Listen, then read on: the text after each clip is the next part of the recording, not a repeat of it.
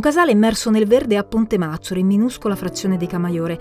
È qui, dopo aver viaggiato tra Londra e New York, che l'attore e il regista Luca Calvani ha trovato la quadratura del cerchio, in un luogo dove esprimere le sue passioni, la cucina, l'interior design, le fragranze, la creatività. Una casa di campagna trasformata in parte anche in un cottage all'inglese, un luogo di ospitalità per i viaggiatori, al quale ha dato vita insieme al socio Alessandro Franchini. Proprio a Ponte Mazzori Calvani produrrà anche il ginepro, ingrediente principe per il suo gin toscano. Così la nostra chiacchierata inizia da qui, vicino ad un camino e da quattro bassotti. Luca, abbiamo sempre parlato di cinema, di moda. Oggi parliamo di cani, direi. Oggi perché parliamo di cani. Mi manca addirittura uno, ma solitamente le braccia sono quelle che sono.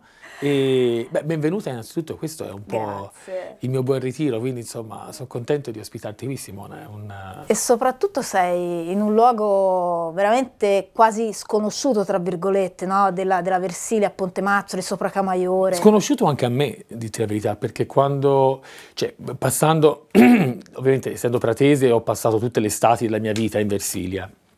E quando ho scoperto questa parte qua, un po' anche da ragazzo, però non ero consapevole di quante, di quante strutture, eh, di quante possibilità ci sono, dalle camminate che si possono fare sulla Puane, alle passeggiate nei boschi, e poi la cultura camaiorese, che insomma è un piccolo paese con tante tradizioni e tante anche eh, sfaccettature, i rioni sono molto diversi tra loro, eh, quindi è una realtà molto piccola, ma al di là- è anche un crocevia, ci passano tante persone da Camaiore. Tu ci hai ritrovato anche un po' del mondo che hai vissuto anche all'estero, hai vissuto tanto all'estero, fra Londra. C'è sempre stato un grande love affair tra gli americani e gli inglesi con la Toscana. Dai tempi, si vede film come Te con Mussolini. E io, stando in America per tanti anni, forse ho avuto quella fortuna di imparare a vedere il nostro paese con gli occhi degli stranieri. Perché noi molto spesso siamo molto denigratori nei confronti di noi stessi, ci sottovalutiamo sempre. Invece, eh, con piccole accortezze, il nostro, il nostro modo di vivere, il nostro lifestyle è veramente il migliore al mondo, dal cibo a- al paesaggio del nostro paese e soprattutto della nostra Toscana. Penso che noi siamo qui oggi a Camaiore e vediamo fuori dalla finestra il Matanna e il Prana e sono innevati e a un quarto d'ora siamo a fare il bagno al mare, insomma.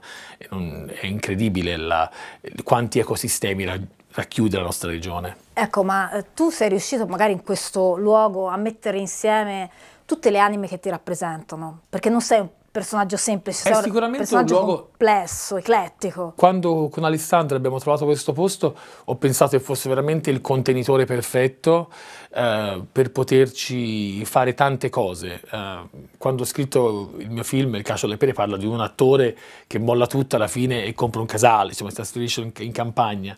E quindi forse, il film l'ho scritto otto anni fa, quindi molto prima, e quindi forse era una- un desiderio mio che era... ehm, che aveva solo bisogno di, essere, di, uscire fuori allo scoperto. Certamente qui mi dà la possibilità di cucinare, che è una cosa che ho sempre fatto e che mi è sempre piaciuto. È sempre stato un mio modo di raccontarmi alle persone. Quando non arrivo in un posto e non conosco, vado in cucina e cucino per loro. Di solito è il modo migliore per rompere il ghiaccio per me. L'ho fatto per tanti anni in America perché ovviamente essendo l'unico italiano in una compagnia di americani, inglesi, francesi, diciamo, cucino io è meglio.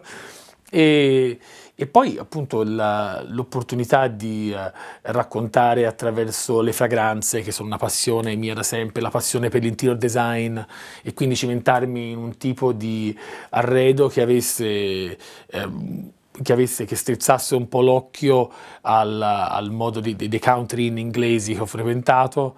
Eh, la scenografia è una cosa che mi interessa tanto quando lavoro su un film, oltre ai costumi, ma penso che aiutino tanto no? a avvolgere, no? Avvolgono la storia no? e quindi danno il background, danno lo sfondo. Questo è un luogo che immagino ti aiuti anche a creare nella sua fase, eh, nella sua fase creativa. Una delle ultime tue creazioni è un gin, un gin toscano. Quindi adesso c'è anche questa vena legata un po' alla distilleria. Il gin nasce da, un, eh, da una curiosità mia, perché lavorando nelle fragranze eh, volevo raccontare questo posto con, eh, con un profumo E poi stando in Inghilterra, avendo a che fare con Guy Ricci, con cui ho lavorato e faceva la birra e veniva sempre a trovarci David Beckham che faceva i whisky, parlando mi dissero appunto che il ginepro viene tutto dalla Toscana e io rimasi basito di questa cosa, ti parlo del 2015. E effettivamente scoprì che il ginepro di maggiore qualità viene proprio da, da Pontassieve.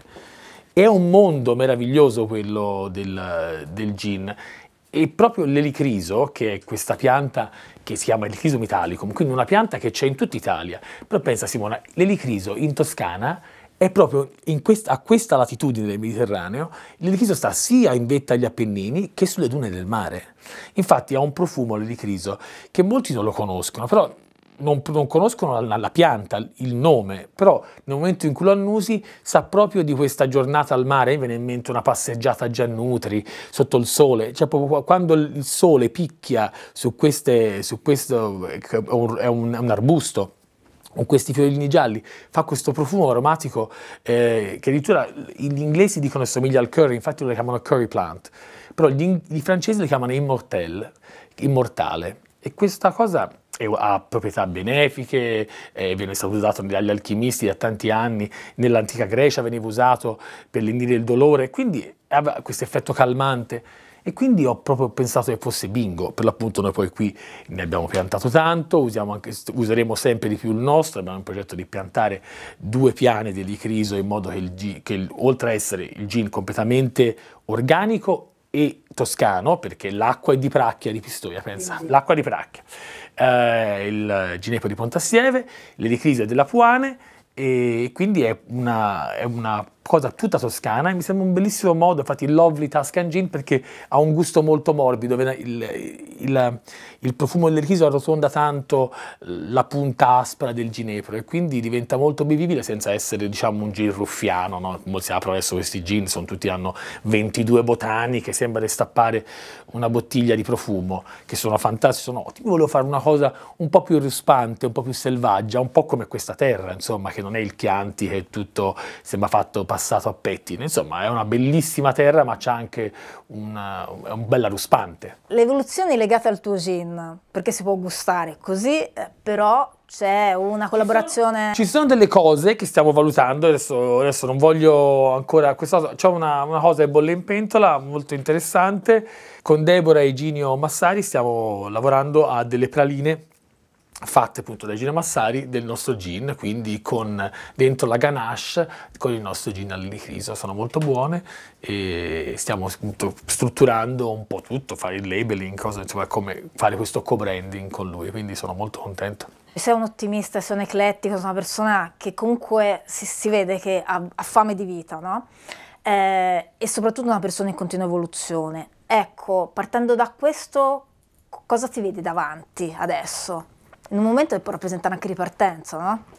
Vorrei che questo posto diventasse sempre di più accogliente, potesse accogliere più persone e creare più esperienze e poterne fare più io e e ovviamente la, continuare a creare in questo mondo qua nel mondo eh, dell'esperienza, che sia fragranza, che sia bere, che sia il mangiare, continuo a cucinare, sto per tornare a cucinare anche adesso, ho una cena stasera e devo preparare, quindi sono, uh, è quello, quello, è il tempo che non mi accorgo neanche che passa. Io in cucina, per esempio, l'ho scoperto tardi, forse se fossi tornato indietro e visto la parabola che stanno facendo gli chef, avrei voluto fare quello. Io la verità, forse mi sarebbe piaciuto più fare il, lo chef che l'attore. Certo, poteva essere bravo, insomma, non è che... E magari lo chef in tv? Ma lo chef, appunto c'è questa possibilità, no, per un piaciore da 3 euro come me, cucinare e fare, fare anche da mangiare, insomma, per in tv magari poteva essere una strada.